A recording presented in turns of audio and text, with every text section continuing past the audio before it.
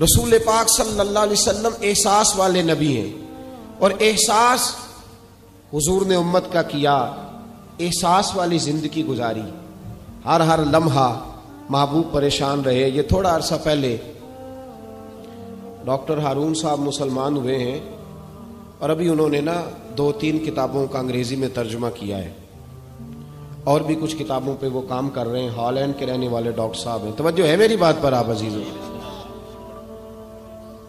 Doctor صاحب کہتے ہیں کہ میں نے یہ سنا تھا کہ مسلمان دہشت گرد ہیں۔ یہ بم بلاسٹ کرتے ہیں۔ تو میں جہاں لفظ اسلام آتا تھا نا، وہاں سے میں تھوڑا پچ جاتا تھا، پیچھے ہٹ جاتا تھا۔ لیکن میرے مزاج کے اندر یہ بات شامل تھی کہ میرے اندر اللہ نے بڑا انسانیت کا جذبہ رکھا ہوا تھا۔ تو میں ایک تنظیم قائم کر رہا تھا، میرا خیال تھا کہ ایک ایسی جماعت بناؤں کہ جو پوری دنیا کے اندر اسلام توجہ ہے میرے عزیزوں کی؟ کہتے میرا خیال تھا ایسی جماعت قائم کروں کہ جو پوری دنیا میں لوگوں کی خدمت کرے اور بغیر امتیاز کے کرے، اسلام والوں کی بھی اور غیر مسلموں کی بھی۔ لیکن مجھے بڑا دھجکا رہتا تھا کہ مسلمان سخت گیر قوم ہے میں نے بہت ساری جماعتوں کا منشور اور دستور منگایا اور میں نے کہا، میں اپنی جماعت کا دستور لکھوں گا تو پہلے ذرا سارا میں مطالعہ کر لوں۔ ڈاکٹروں کا ٹیبل ہوتا ہے، اس کے اوپر نا شیشہ لگا ہوتا ہے۔ نیچے وہ جو چیز ضروری ہوتی ہے، وہ رکھ لیتے۔ کہتے ایک مصر کے مولانا صاحب آئے ہوئے تھے ہالینڈ کے دورے پر۔ اچھی انگریزی جانتے تھے، تو کسی وجہ سے علیل ہو گئے۔ میرے پاس وہ آئے۔ اور انہوں نے دیکھا کہ میں انسانی حقوق پر کچھ لکھ رہا ہوں، کام کر رہا ہوں۔ تو وہ دیکھ کر کے مجھے کہنے لگے کہ ڈاکٹر صاحب، آپ کوئی تنظیم قائم کر رہے ہیں؟ میں نے کہا ہاں۔ کہ تم نے ہلکا سا ٹچ دیا زور نہیں دیا اور ویسے بھی جو ہلکی بات ہوتی ہے وہ ذرا دل میں جلدی بیٹھ جاتی ہے۔ کہتے ہیں ہلکا سا ٹچ دیا۔ کہنے لگے اگر کبھی موقع ملے تو میرے نبی پاک کی بھی سیرت پڑھ کے دیکھیں۔ بس ہلکی سی بات اور وہ جملہ چھوڑ گئے۔ اعلیٰ حضرت فاضل بریلوی علیہ رحمٰ نے لکھا ضروری نہیں کہ تم جو کہہ رہے ہو وہ منوا کے اٹھو لیکن میسج ضرور چھوڑ دیا کرو۔ جب انسان کے ذہن میں بات ہوتی ہے نا یہاں سٹاک ہوتا ہے جب بات کا، تو جب وہ کام کرنے لگتا ہے تو ایک دفعہ وہ بات سامنے ضرور آتی ہے۔ کہہ دیا کرو۔ انہوں نے کہہ دیا کہ ڈاکٹر صاحب ایک دفعہ حضور کی سیرت بھی پڑھ لیں۔ کہتے ہیں، میرے ذہن میں بات بیٹھ گئی، مصروف آدمی تھا۔ زیادہ تو نہیں میں مطالعہ کر سکتا تھا، لیکن میں نے ایک دن دس منٹ گھر میں ملے تھے تو میں کمپیوٹر پہ بیٹھا۔ اور میں نے کہا کہ انگریزی میں جو کتابیں حضور سید عالم صلی اللہ علیہ وسلم کی سیرت کی ہیں، ان کو ذرا دیکھتا ہوں۔ تو فرماتے ہیں کہ میں نے نیٹ پہ سرچ کیا، پہلی حدیث آئی اور میں کلمہ پڑھ کے مسلمان ہو گیا۔ حدیث کہاں ہے؟ سبل الہدا والرشاد میں بھی ہے، کنز المال میں بھی ہے، مسند احمد میں بھی ہے، ابن اسحاق میں بھی ہے، ابن اشام میں بھی ہے۔ اور شاید سیرت کی تمام کتابوں میں آپ کو روایت مل جائے۔ نبی پاک صلی اللہ تعالی علیہ وسلم کی حدیث اور روایت کرتے ہیں حضرت سلمان فارسی رضی اللہ تعالیٰ عنہ۔ اور ساتھ ہیں سیدنا بلال ابشی رضی اللہ تعالیٰ فرماتے ہیں، ہم نہ گھر سے نکلے۔ حضور نے فرمایا، ذرا جلدی چلو، ایک ضروری کام ہے۔ فرماتے ہیں، بڑی تیزی کے ساتھ آج روٹین سے ہٹ کر محبوب نے تیز تیز قدم مبارک اٹھائے۔ تیز تیز۔ اور فرماتے ہیں ایک گلی ہم نے کراس کی، دوسری گلی میں جو پہنچے تو پھٹے پرانے کپڑے، سادی سی بی بی اور حالت بتاتی تھی کہ بیچاری کسی غریب گھر کی ہے۔ وہ سڑک پہ کھڑی تھی اور رو رہی تھی۔ میرے کریم رسول نے فرمایا، بلال، اسے پوچھو کیا مسئلہ ہے، کیوں روتی ہے؟ تو حضرت سلمان عرض کرتے ہیں، میں نے کہا، حضور، میں پوچھ لیتا ہوں، آپ جائیے۔ کام بڑا ضروری ہے جو نکلیں، میں معلومات کرتا ہوں۔ تو محبوب نے فرمایا، نہیں اس کے آنسو پوچھنے سے ضروری کوئی کام بھی نہیں۔ پہلے اس کی داد رسی ہوگی، اسے پہلے پوچھا جائے گا۔ روتے نہیں رہتے لوگ، گھروں میں لوگ گزر نہیں جاتے چپ کر کے۔ کتنے لوگ تڑپتے، کون احساس کرتا ہے؟ نبی پاک سید عالم صلی اللہ علیہ وسلم رکے اور اس خاتون سے پوچھا، کیا بات ہے؟ اس نے کہا کہ بات کوئی بھی نہیں۔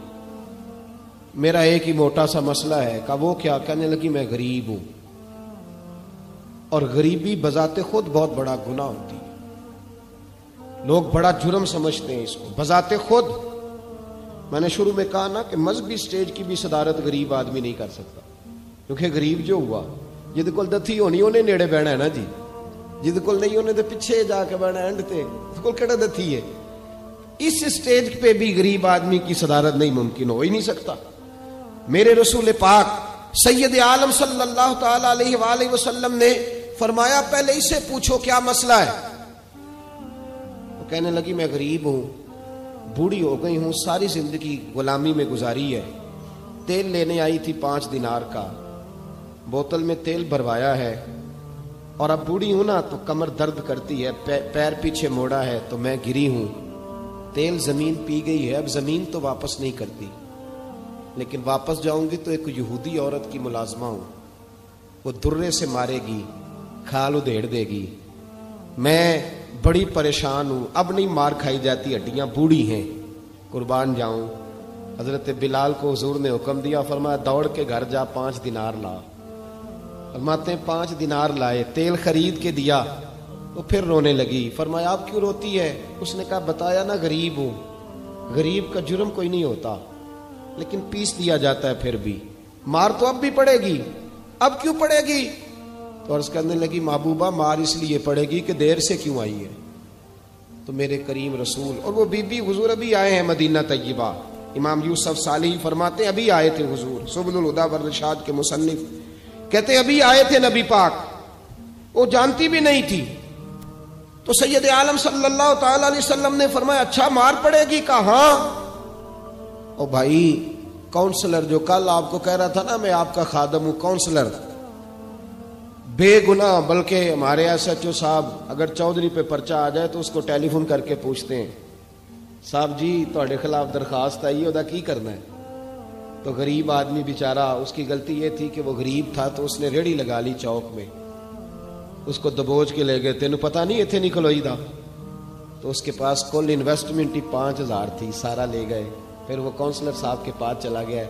سر میرے نال چلے آجے ذرا میں تھانے جانا۔ انہیں کہا، گڈی کرائی آ پیسے ہے نہیں، ایویں تھانے جائیے اب وہ گاڑی لایا ہے، پتہ نہیں کہاں سے لایا ہے، تھانے پہنچا ہے۔ اور یہ یہ ہے ہمارا حال کہ وہ ایس ایچ او بھی بیٹھا ہے کرسی پہ، اور کونسلر بھی کرسی پہ بیٹھا اور وہ غریب پیروں میں بیٹھا ہے۔ اور ہاتھ باندھ کے کہہ رہا میری ریڑھی دے چھڈو، میری چار تیاں نے۔ تو میں شامی کھانا کھڑنا ہے۔ کدھر گیا؟ امت کا وہ ذوق، ساری زندگی نعتیں سننے والوں بتاؤ تو صحیح، نعت نے تاثیر کیا دی ہے روح کو؟ اگر ابھی بھی گھاڑی غریب کے پاس کھڑی نہیں ہوتی تو پھر کیا اثر ہوا ساری زندگی نعت سننے کا؟ میرے مصطفیٰ کریم سید عالم صلی اللہ تعالی علیہ وسلم نے فرمایا، اس خاتون سے یہاں کاؤنسلر ساتھ نہیں جاتا، کہتا کر دیا ٹیلی فون، سویرے نو بجے پہنچ جانا۔ پر کائنات کی سب سے معزز شخصیت حضرت سیدنا بلال ابشی رضی اللہ تعالیٰ عنہ فرماتے ہیں، میرے نبی پاک نے فرمایا، بی بی، چل میں تیرے ساتھ چلتا ہوں۔ گویا اللہ کی ساری رحمتیں اس کے ساتھ ساتھ چلنے لگی۔ اور آگے آگے نہیں، ساری کتابیں پڑھ لو۔ وہ پھٹے پرانے کپڑوں والی بی بی آگے آگے، اور اللہ کے کریم رسول پیچھے پیچھے۔ ساری گلیاں اس نے پھرائی مدینے کی، صحرا آ گیا۔ ایک دروازے پہ دستک دی۔ سے مالکن آئی۔ وہ بی بی بعد میں کہتی ہے، میں بھی بڑی ڈاڈی تھی۔ طاقت ہی نہیں تھی میرے سامنے کو کھڑا ہو سکے۔ لیکن جب میں باہر نکلی تو میں نے نور کے حالے میں لپٹی ہوئی ایک عظیم ہستی کو دیکھا۔ فرماتے محبوب کے گورے چٹے رنگ کے اوپر کالی زلفیں اور محبوب پاک کی مقدس آنکھیں جب تک بات کرتے رہے، نظریں زمین پہ جھکی رہی شرم و حیا والے رسول نے بڑے میٹھے، بڑے دھیمے، بڑے خوبصورت لہجے میں کہا بریلی کے امام فرماتے ہیں، نیچی نظروں کی شرم و حیا پہ درود۔ بڑے دھیمے لہجے میں فرمایا، تیری نوکرانی ہے، تیری۔ عورت کہتی ہے، میں تو حضور کے جلووں میں محب ہو گئی کہ سادگی میں اتنا حسن میں نے دیکھا ہی نہیں۔ تیری نوکرانی ہے کہا ہاں۔ تو میرے محبوب نے فرمایا، بیچاری کی غلطی کوئی نہیں، اسے مارنا نا۔ اس سے تیل گر گیا تھا، نیا خریدتے دیر ہو گئی۔ رو رہی تھی تو میں سفارش کرنے آیا ہوں۔ وہ خاتون کہتی ہے، کسی کی نہیں مانی تھی۔ پر محبوب کے جملوں میں تاثیر اتنی تھی، ککھ سواد نہیں مشری اندر۔ اسا کھنڈا می چکھ ڈٹھیاں ان ساریاں شہواں نالوں گلاں سجن دیاں مٹھیاں۔ فرماتے ہیں، نبی پاک صلی اللہ تعالی علیہ وآلہ وسلم نے فرمایا، کچھ نہ کہنا۔ کہنے لگی، نہیں کہتی، میرا وعدہ رہا، کچھ نہیں کہوں گی۔ اب میرے حبیب نے پھر نظر اٹھائی اور اس غریبنی کی طرف دیکھا اور فرمایا، تو اگر کہے تو میں جاؤں۔ تو اگر کہے تو میں خود بھیک دے، خود ہی کہے، منگتے کا بھلا ہو۔ تو اگر کہے تو میں جاؤں، اس نے خراج پیش کیا تو چاند آنسو گرائے۔ کہنے لگی، محبوبہ جیسے بندہ نوازی۔ حضور نے رخ پھیرا۔ حضرت بلال کہتے، میں پیچھے رہ گیا۔ میں پیچھے رہ گیا تو وہ دونوں بیبیاں دوڑ کے میرے پاس آئی کہنے لگی، بتا تو صحیح ہے کون؟ یہ بتا تو صحیح کون تھے؟ تو حضرت بلال کہنے لگی، تم نہیں جانتے۔ جناب بلال فرمانے لگے، یہی تو ہیں جنہیں اللہ نے سچا رسول بنا کے بھیجا ہے۔ بیبیاں دوڑ کے آئی کہنے لگی محبوبہ، دروازے تک آئے ہو تو خالی تو نہ نہ لوٹاؤ۔ مہربانی فرماؤ، ہمیں بھی کلمہ پڑھا دو۔ ڈاکٹر ارون کہتے ہیں، وہ بیبیاں وہاں کلمہ پڑھ رہی تھی اور میں حدیث پڑھ کے کلمہ پڑھ رہا تھا۔ بھائی،